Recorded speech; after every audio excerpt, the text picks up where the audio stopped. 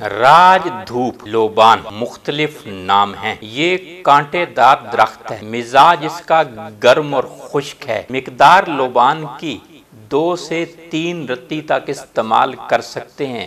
جوہر جو ہے، آدھا رتی تک استعمال کر سکتے ہیں مکھن میں ڈال کر۔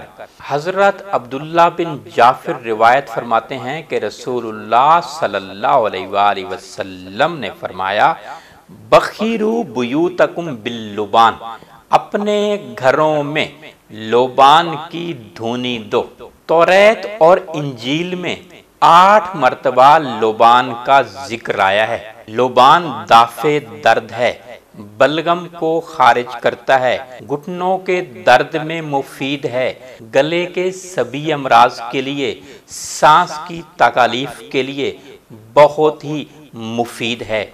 درد میدہ کے لیے مفید ہے، قبض کشا ہے، قبض کو ختم کرتا ہے، آنتوں کی خشکی کو ختم کرتا ہے۔ لوبان کی گھروں میں اگر دھونی دی جائے، حدیث سے نوی میں میں نے عرض کی، تو اس سے امراض نہیں بڑھتے، جیسے مچھر، مکھی اور وبائی امراض۔ سنت نوی ہے لوبان کو گھروں میں آپ بتی کی جگہ بھی آپ جلا سکتے ہیں۔ پانی میں ڈال کر اس کی بھاپ لی جائے اور اوپر کپڑا ڈالا جائے، ٹاول ڈالا جائے۔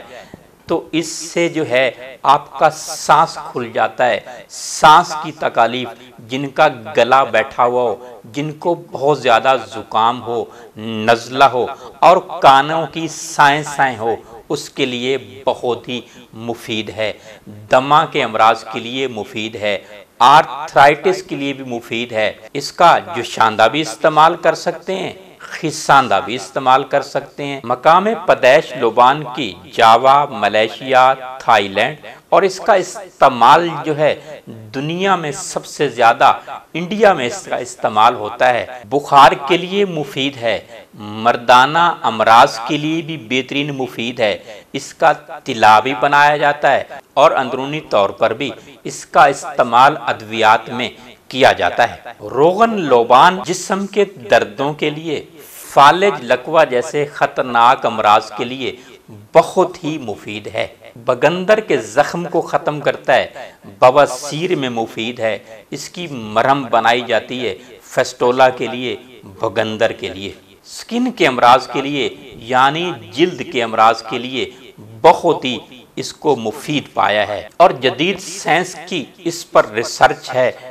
کہ سانس کے سبھی امراض کے لیے میدہ کے امراض کے لیے بہت ہی مفید ہے، بہت ہی عمدہ علاج ہے لوبان سے۔